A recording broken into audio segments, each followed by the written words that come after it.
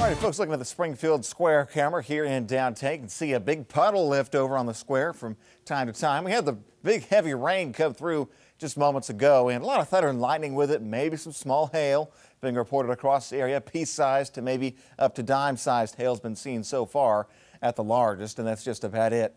But uh, the rain right now is largely ended in Springfield. We're not going to be done for the day by any means. We'll see another wave of rainfall come on through as the morning progresses. Right now, looking at radar, we can see kind of the main cluster of it north of I-44, maybe off to the west a little bit around I-49, and another little cluster down towards Arkansas. Looking farther north, we got rain moving into Camden, some thunder and lightning, maybe to Osage Beach area and Lake Ozark and Eldon Versailles. Seeing again some heavier rainfall pockets out of this.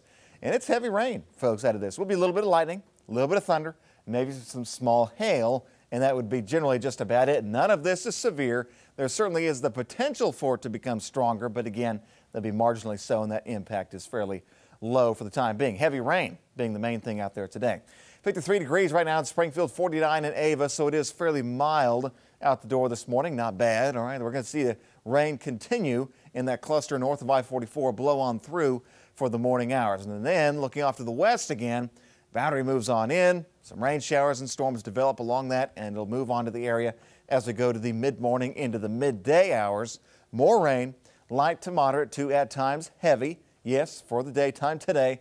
Still off and on as we go into this evening. And another round of rain moves in from the south as we go into the overnight tonight.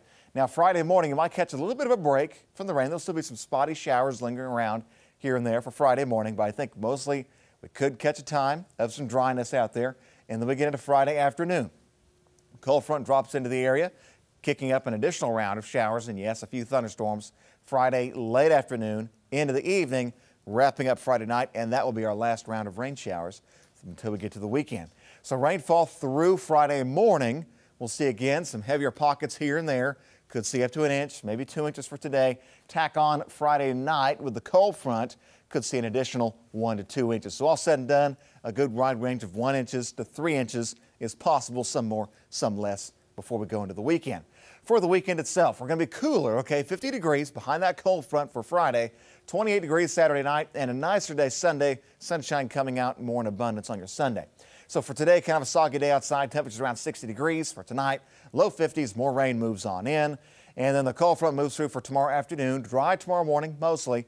Then more rain showers and storms along that front as we go into Friday evening. So for tomorrow night, could see a stronger storm, possibly severe, mainly a hail risk the farther southward you go.